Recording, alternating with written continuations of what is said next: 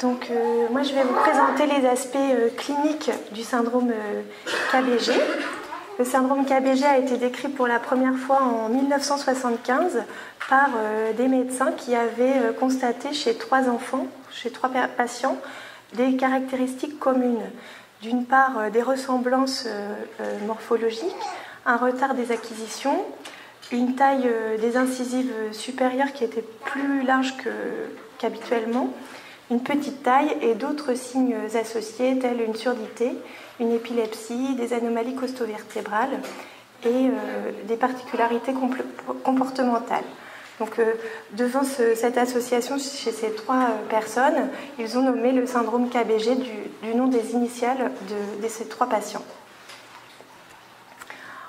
Le syndrome a été euh, progressivement euh, de mieux en mieux connu, de mieux en mieux décrit, et en 2007 ont été euh, définis des critères pour le diagnostic, puisqu'à cette époque, le gène responsable du syndrome KBG n'était pas connu et qu'il fallait donc s'appuyer sur les données de l'examen clinique pour confirmer le, diagnostic.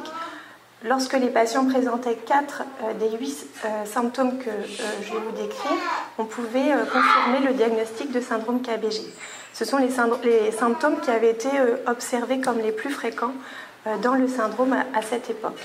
Donc d'une part la macrodontie, euh, des ressemblances morphologiques, des particularités au niveau des extrémités et notamment des mains, une atteinte neurologique, un retard de l'âge osseux à la radiographie de squelette, un retard de croissance après la naissance et la présence du, même syndrome chez un apparenté du premier degré donc un parent, un enfant, un frère ou une sœur. Progressivement, ce syndrome a été euh, de mieux en mieux connu grâce d'une part à l'identification du gène ANC-RD11 comme responsable du syndrome KBG en 2011, euh, grâce à l'amélioration des techniques euh, en génétique et aussi grâce au travail des médecins cliniciens dont euh, Alice Goldenberg, Madame Philippe et les internes euh, Aude Tessier et Florence Riccardi, qui ont euh, décrit plus précisément les patients qui présentaient des modifications dans le gène ANC-RD11. Et finalement, on s'est rendu compte que ce syndrome était bien moins rare qu'on le pensait, souvent moins sévère que ce qu'on avait décrit initialement. Et aujourd'hui, on ne connaît pas sa fréquence, mais on sait que c'est un des syndromes les plus fréquents parmi euh, les patients qui ont un diagnostic dans le cadre du bilan de, retard des acquisitions.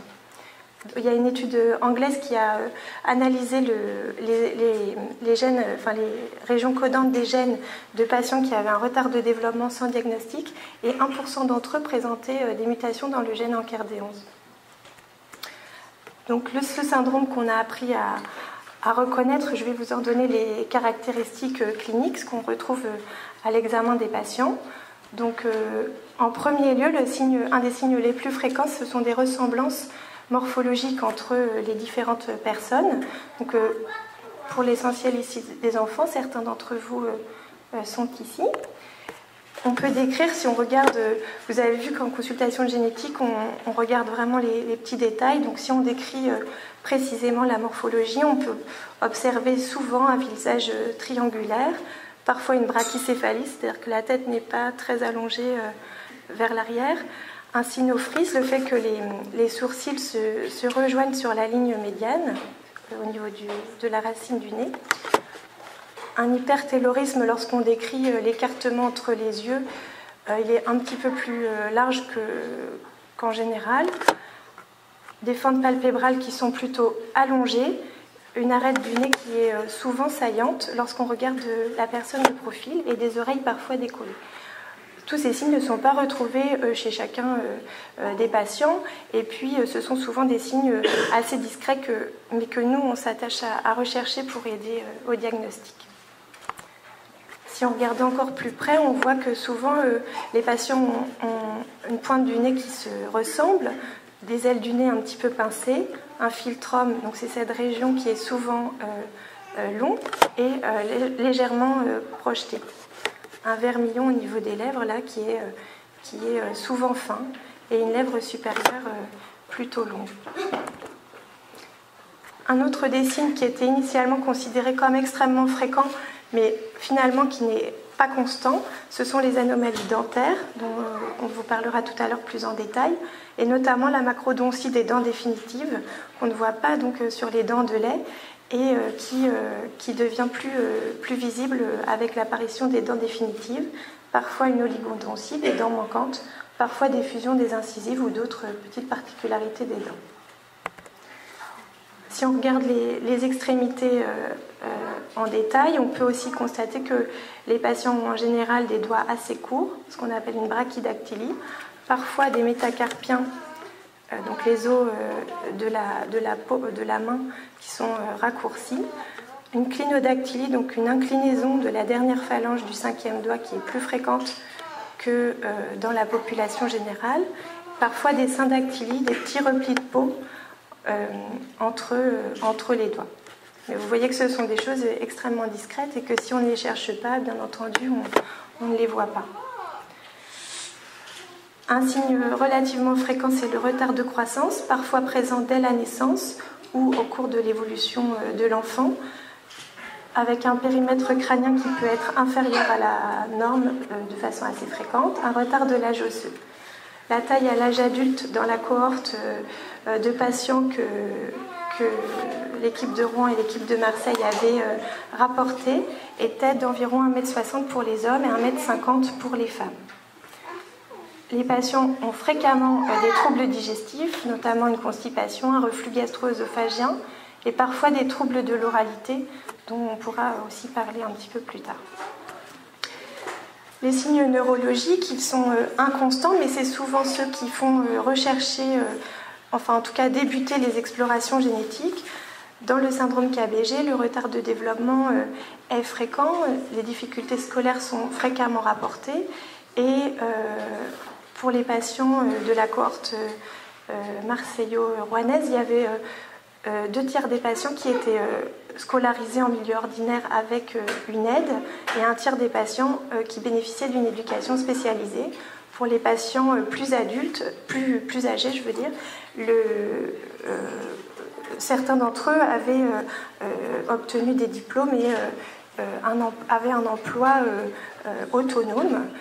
plusieurs familles aussi ont, plusieurs patients adultes ont, créé des familles. La déficience intellectuelle, alors, elle est probablement surévaluée parce que les gens qui n'ont pas de déficience, bien souvent, ne, vont pas être explorés. L'épilepsie chez les patients qui ont eu le diagnostic représente 30% euh, des gens. Il peut être observé sur l'imagerie cérébrale des, variations euh, de l'imagerie euh, assez diverses, parfois des troubles du comportement et assez souvent des troubles du sommeil. Enfin, on sait que chez les patients qui ont un syndrome KBG, il faut surveiller le trouble de l'audition euh, tout au long de la vie. Euh, le docteur Marcola en parlera tout à l'heure, puisque le, trouble de l'audition est fréquent et dans ce cas nécessite relativement souvent un appareillage.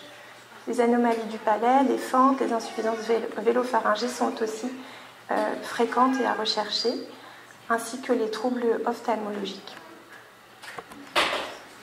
Certains patients, mais c'est plus rare, présentent des malformations cardiaques, un patient sur cinq environ, euh, qui sont diverses, parfois des anomalies squelettiques, notamment des anomalies euh, des côtes ou des vertèbres. Ça peut être des côtes surnuméraires, des côtes euh, bifides, des, particularités au niveau de la morphologie vertébrale, des scolioses, des anomalies du coccyx, des maladies de hanche, des pseudarthroses de la clavicule.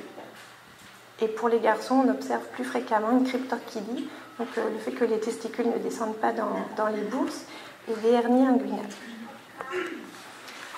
Donc, euh, au total, le syndrome KBG, c'est un syndrome qui concerne de nombreux organes. Il faut apprendre euh, à le connaître pour euh, dépister les symptômes éviter les complications, les prendre en charge le plus tôt possible. La sévérité est très variable. Donc, comme le disait Alice, des recommandations de suivi sont en cours d'élaboration. Et le but de cette journée, c'est de faire mieux connaître ce syndrome pour que chacun apprenne à, le reconnaître et que les patients soient euh, euh, mieux pris en charge.